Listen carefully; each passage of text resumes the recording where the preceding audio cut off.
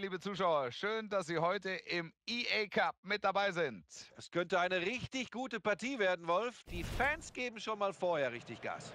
Es geht ans Achtelfinale. Wie schätzt du die Chancen der Teams ein, Buschi?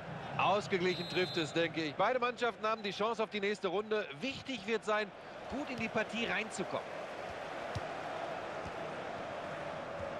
Hier nun die Aufstellung der Gastgeber. Werfen einen kurzen Blick drauf. Heute treten sie hier im 4-5-1 an.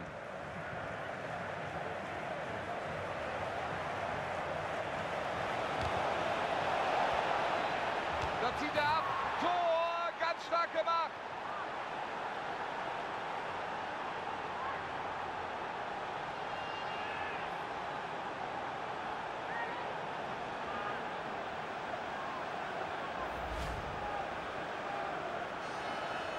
Nochmal der Treffer, diesmal aus einer anderen Perspektive.